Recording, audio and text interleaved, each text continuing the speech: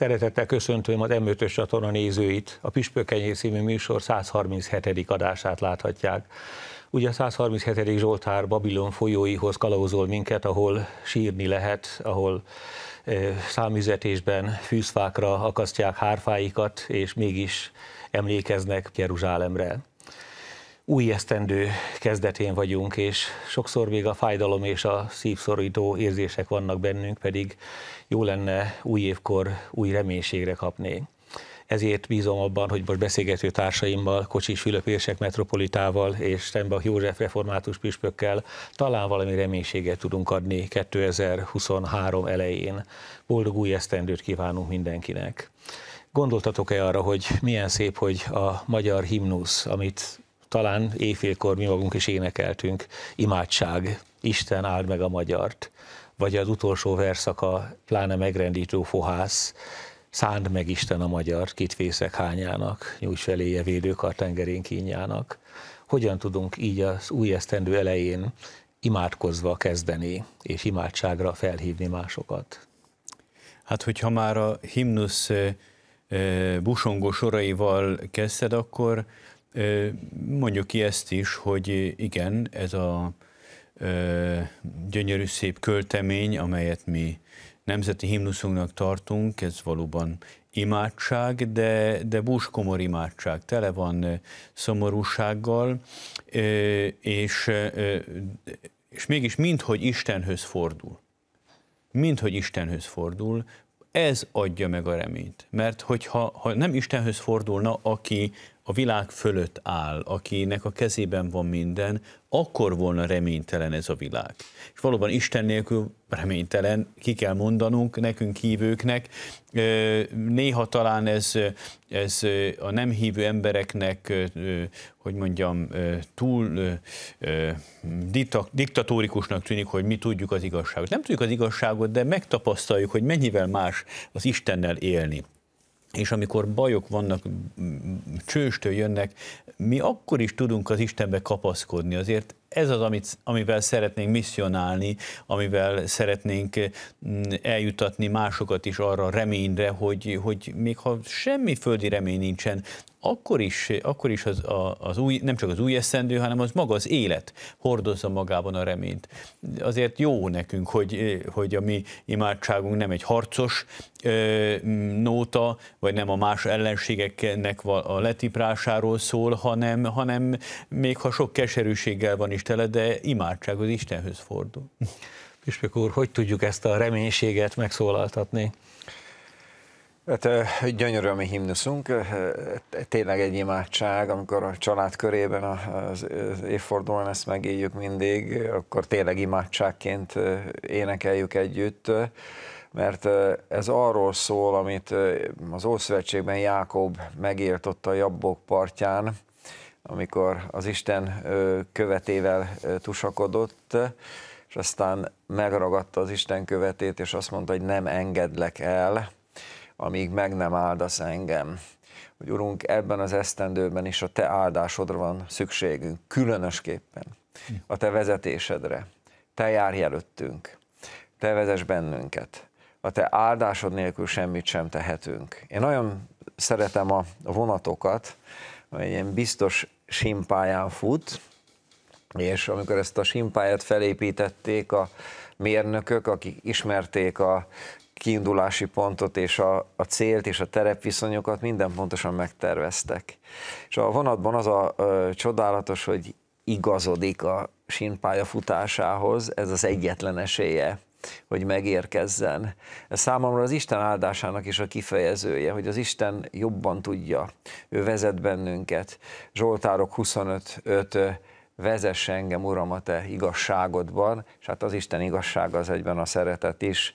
Hát Urunk, áldj meg bennünket, a magyart is, és minden népet ebben az esztendőben vezess, és adj megérkezést, adj szabadulást. És hogyha Azt ehhez, bocsáss meg, ez a igen. bibliai képhez kapcsolódhatom, azért úgy áldotta meg, hogy ugye megérintette a csípőjét, és attól kezdve lesántult e, e, Jákob, és Nagyon szép bibliai magyarázatot olvastam erről, hogy ő minden szépen kiszámított előre Ézsauval való találkozását, jó kedve akarta téríteni, hogy küldött tevéket, juhokat, szolgákat, hogy de aztán végül is egy ilyen sánta emberként állt oda, és valószínű ez volt az, ami igaz, nem az ajándékok, hanem ez a kis nyomorú sánta ember jön ide, hát attól nem, nem kell mit félni. Tehát úgy, úgy kapta meg az áldás, hogy közben lesántult, és, és gyönge, gyöngévé lett, úgyhogy nagy tanúság ez nekünk is, hogy amikor gyöngének érezzük magunkat, nem biztos, hogy elvesztettük az Isten áldását, hanem lehet, hogy pont arra volt szükségünk.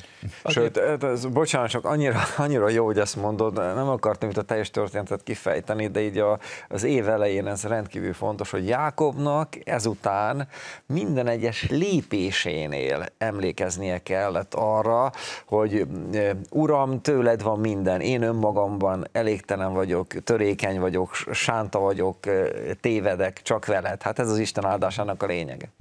Igen, ez az Ószövetségben, a Héber Bibliában Jákob és Ézsau története, érdemes ezeket elolvasni Mózes első könyvéből, és ez talán kis lehetőséget kínál a visszatekintésre, hiszen Jákob is, amikor ment a találkozásra készülve, akkor, akkor nagyon sok mindent maga mögött hagyott, amit aztán, aztán Istenre kellett bíznia. Mi is valahogy az új esztendő küszöbén így visszanézünk, visszatekintünk, és azért sok mindent magunk mögött hagyunk, és jó is, hogy ezek már mögöttünk vannak, persze elkísérnek minket, de, de, de, de jó lenne ezeknek az árnyékától megszabadulni, és úgy imádkozni az új esztendőben. Gondolok ugye a Covid-ra, a háborúra, a gazdasági válságra, ezek mind-mind az elmúlt esztendőnek a terheit jelentik. De mégis tudunk-e hálával gondolni 2022-re? Fel tudtok-e idézni, akár személyes életetekből, vagy az egyházatok életéből, vagy az ország, a nemzet életéből valami olyat, amire, amire jó visszaemlékezni, amit amit örömmel viszünk magunkkal, nem csak árnyékként. Tamás, most hadd huncutkodjak, és most visszakérdezek. Kedjél te! Mindig mi kedjük ezeket a dolgokat. Hát én Biztos van neked de... is valamilyen. Mire gondoltál, amikor mondtad, hogy, hogy visszatekinte az egyházunkban? Egészen személyes leszek, csak nem akartam ezt elmondani, de akkor ezt elmondom, ha már a sántaságról beszéltél. Nekem az esztendő, és bocsánat, ha ilyen személyes vagyok, egy, egy térprotézis műtéttel kezdődött, és, és én januárban néhány hétig Igen. kórházban voltam, rehabilitáción voltam, és tényleg megtapasztaltam ezt a Jákóbi életet. Nem akartam visszaélni ezzel, hogy most műsorvezetőként ezt el tudom mondani, de én tényleg Jákób sántaságával kezdtem ezt az életet, vagy ezt az életet nem, de ezt az, ezt az évet, 2022-t, és, és átéltem ezt a kiszolgáltatottságot, de átéltem azt a, azt a bármennyire is meglepően hangzik, azt a lehetőséget, hogy, hogy most nem kell dolgoznom, most végre pihenhetek, és most fekszem az ágyban, ellátnak, tornáztatnak, segítenek, hát látogatni nem tudtak a covidos időben látogatni, de, de telefonálnak, és csomagot küldenek be a kórházba, és, és olvashatok, elcsendesedhetek, imádkozhatok, tehát az Isten adott nekem ilyen csendes időt, és azt mondta, hogy Tamás, állj meg, ezzel a műtéttel kényszerít kényszerítelek arra, hogy, hogy kicsit pihenj, kicsit befelé figyelj, és, és ez, a, ez a Jákóbi sántaság számomra nagyon személyes sors volt. Nem mondtam volna el, de kihoztad ezt belőlem, kedves testvérem. hogy elmondtad. De most így jöttök akkor. Igen, hát a, nyilván a, a, a tavalyi évben a háború kitörése az mindent átalakított, de ennek ellenére akár a Magyarországi Református Egyház életében, akár a Dunántúl Egyház körlet életében nagyon sok mindenért hálát adhatunk, de hát a személyes életemre visszagondolok, én is tudnék számos példát mondani.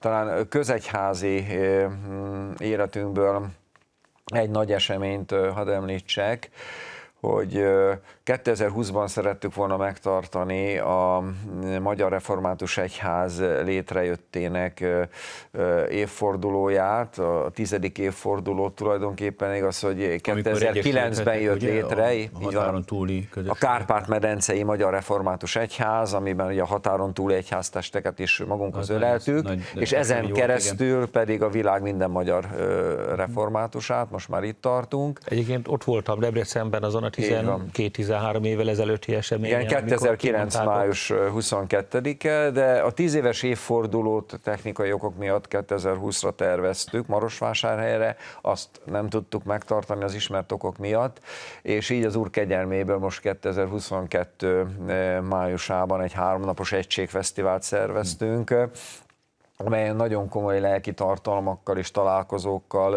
teli, egymással örvendező időszak volt. A végén egy záró istentisztelettel, ezt Gyulafehérváron tartottuk meg, az erdei egyházkörlet vendégei voltunk. Ez mindenképpen a tavalyi esztendőnek egy kiemelkedő eseménye volt, és nagy szükség volt arra egyébként, hogy a magyar reformátusok egymás hit által épüljünk, egymást bátorítsuk, tehát tényleg úgy jöttünk haza, mint akik feltöltöttek.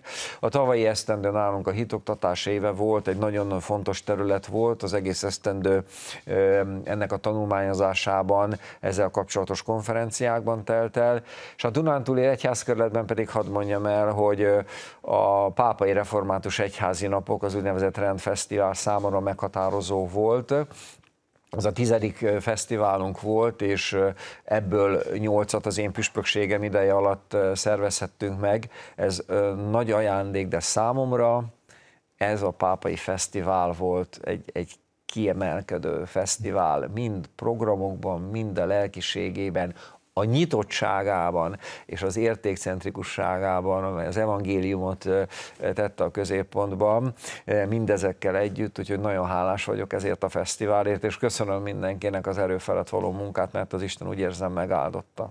Köszönjük egyébként a televízió munkatársainak is, ennyire eh, szolgálati közleményt is adhatunk, hogy én a televízión keresztül lehettem jelen ezen a műsor, eh, ezen a fesztiválon, és eh, átélhettem a, a közvetítésből, hogy valóban milyen nagyszerű alkalom volt a, a sok koncert, a lelki program, a kiállítás és, és kerekasztal beszélgetés valóban nagyszerű volt. Hát és valóban köszönjük a televízió munkatársainak, hálásak vagyunk érte. Érsek úr, a ti egyházatok életében. A katolikus egyház házban most is folyik még a szinodusi út, amelyet Ferenc pápa 2021. októberében hirdetett meg.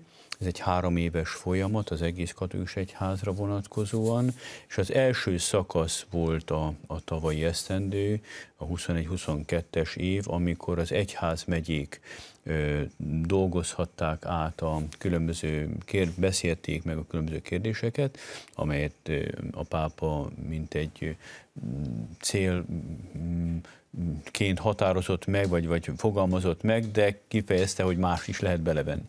Na most, és nekünk Magyarország görögadisoknak ez azért volt nagyon gondviselésszerűen elhelyezve, mert mi viszont erre építettük rá a metropóliai gyűlésünket. Lehet, hogy meséltem már nektek erről, amíg nem voltunk metropólia, addig nem tudtuk, hogy ezt kell csinálni, amíg egy egyházmegye volt Magyarországon, hát addig egy része voltunk a, a Magyar Katolikus Egyháznak, most is természetesen, de most a Egyetemes Katolikus Egyháznak vagyunk a része, és egy külön magyar egyház jött létre, Ferenc pápa ö, döntésével 2015-ben, és öt évenként kellene tartani a metropolia gyűlést, amelybe mondhatni, ugyanúgy bekapcsoljuk az egész egyházunk minden tagját, mint a színodusi út kapcsán megfogalmazta ezt az igényét, vagy a szándékát Ferenc pápa. És megint mi is ugyanígy a járvány, meg a, még az Eukarisztikus Kongresszus is közrejátszott ebben, úgyhogy 21-ben tartottuk meg. Ennek a záró eseménye volt ilyen nagyon lelkesítő Máriapócson, októberben tartottunk meg, és ezen az új nuncius is itt volt már, Michael Banach nuncius úr, aki Amerikából származik, és aki elmondta, hogy az ő nagymamája ukrán származású, úgyhogy lehet, hogy valami görög katolikus vér neki is van. Mm-hmm. Ezeket mi mindig megtaláljuk, meg, vagy, vagy, vagy felszínre. Egyébként a Nuncius úrral magam is találkozhattam Nuncius úrral, éppen egy szinodális konferencián, Pannonhalmán volt egy, igen, egy igen, a bencések igen, által rendezett konf, ökumenikus konferencia. És akkor itt volt Mario Greg Biboros is. Így van, a aki a, a Vatikán részéről főtitkára ennek igen. a, a, a szinodális folyamatnak. Igen, igen. Nála futnak össze a Így szálak. Van. Mind a ketten eljöttek Mária Púcsra, és olyan megmondom, hogy most már, itt, most már megmerem mondani itt a nagy nyilvánosság előtt is, hogy hát féltem most ki,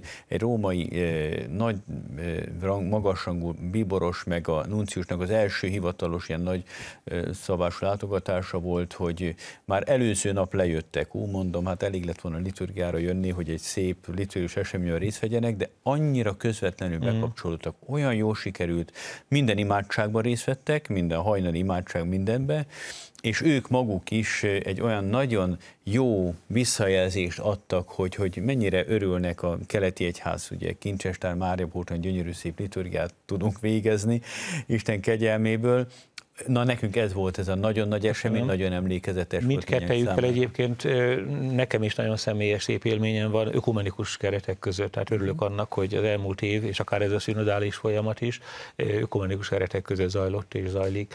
Én egy bibliai ígére utalok, még nálunk minden évben van az evangélikus egyházban a lózunk, a bibliai útmutató alapján egy, egy évi igénk is, és amikor január 1-én ezt olvastam János evangéliumából, igazából akkor még magam sem tudtam, hogy ez nagyon aktuális lesz. Jézus ezt mondja, aki én hozzám jön, azt nem küldöm el. És akkor jött a menekült áradat, és, és átéltük azt, hogy mit jelent az, hogy, hogy valakit nem szabad, hogy elküldjünk, mert háború elől, éhínség elől menekül, hozza a kisgyerek a maciát, húzza az édesanyja a kis koffert, és, és az édesapa otthon marad a háború miatt, és, és rettentő aggodalmak és félelmek közepette jönnek, akár és, magyarok, és mondjuk, akár hogy 22-ben a magyar nép szépen jó Nagyon összefogott, jó és, és ezt a, a bibliai igét tudtuk megélni, hiszen nem hozzánk akartuk őket hívni, hanem Jézushoz, és a Jézusi szeretetet próbáltuk képviselni, és hitelessé tenni az ő számukra, ez is mögöttünk van. De nézzünk előre.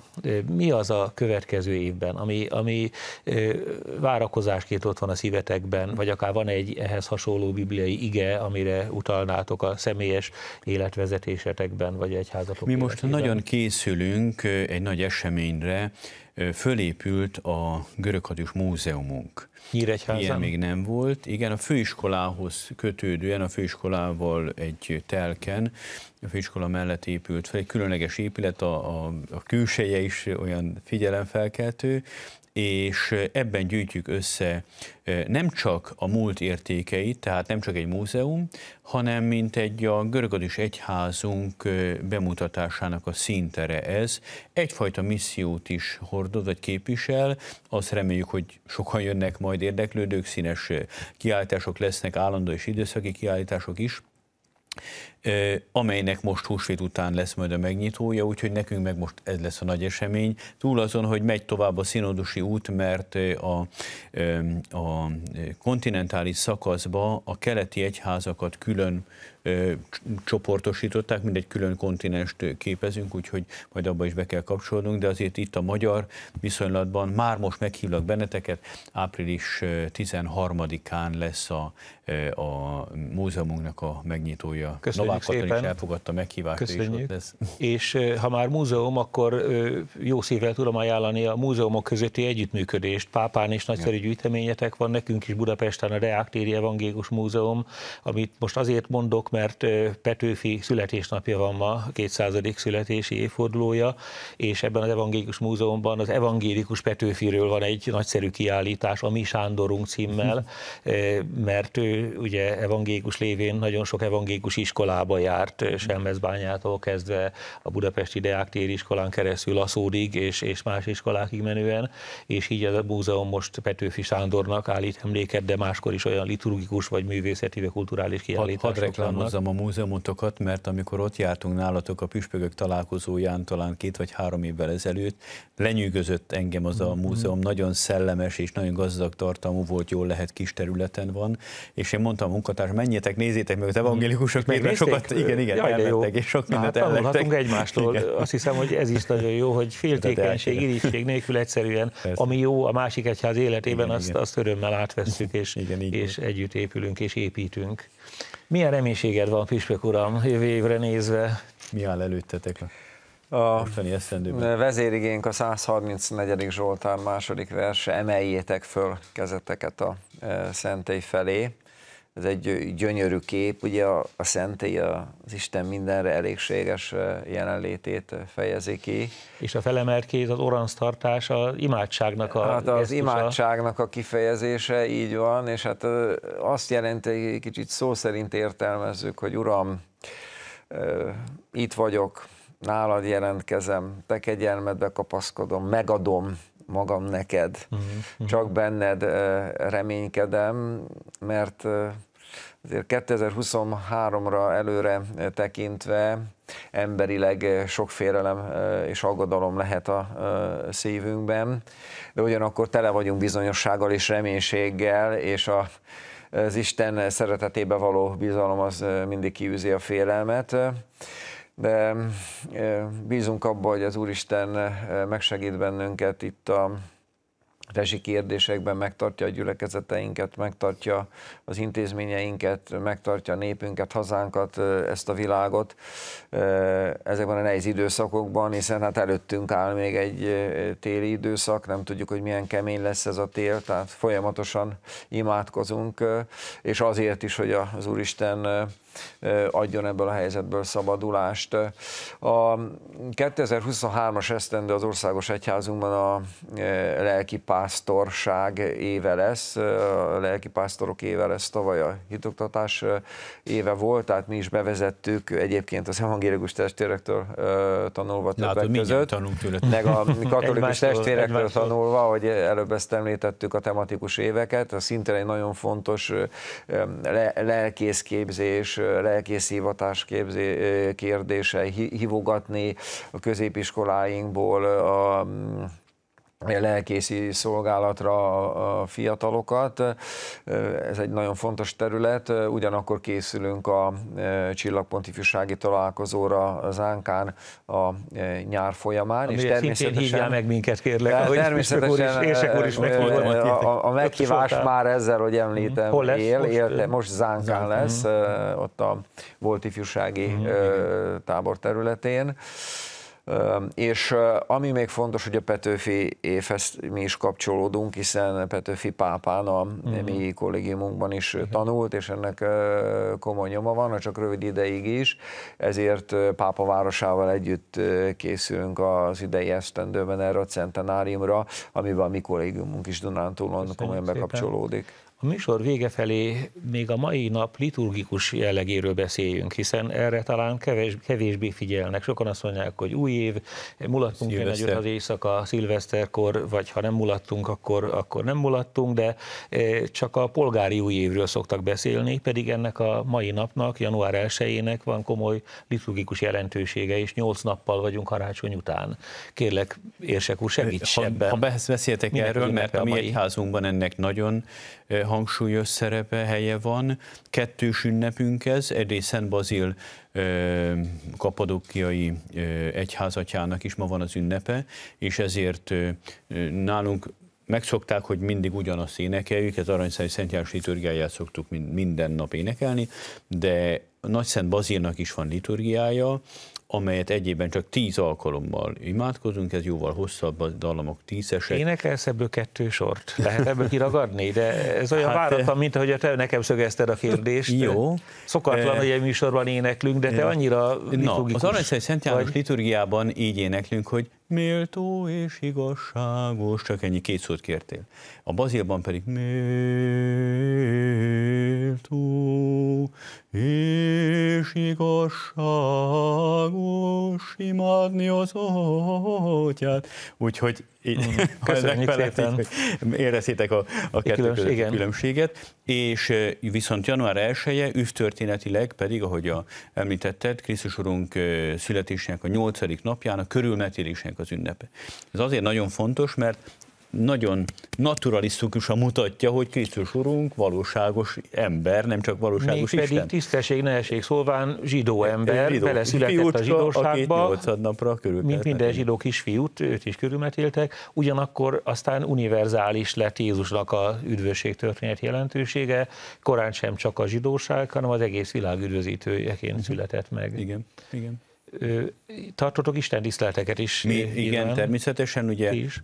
a 31-én a háladó liturgia, de január 1-én sok esetben ez nagyon nagy ünnep, és hát akik nem pesgővel vagy tánccal töltik az éjszakát, virasztással, az ünnepre való éjszakai virasztással mi is ezt tettük, így a, a nagy ünnepek előtt szokott ez az éjszakai viraszás lenni. Nyilván szíveszer éjszakáján ennek különleges jelentősége van. És már néhány nap, és itt van vízkereszt ünnepe. Talán ebben is segítsünk kicsit a, a nézőknek, hogy mit ünneplünk vízkeresztkor, egy pár mondatban csak, ha összefoglalnád. Hát három dologra is emlékezünk és adunk hálát, szintén Jézus Krisztus életével kapcsolatos. Az egyik ugye Jézus Krisztus megkeresztelkedése, a másik a kánai mennyegző története, illetve hát a napkeleti bölcsek imádják Jézus Krisztust, és ajándékot isznek, hát ez is ide tartozik igazából vízkereszt ünnepéhez, és mindegyiknek természetesen gyönyörű üzenete van.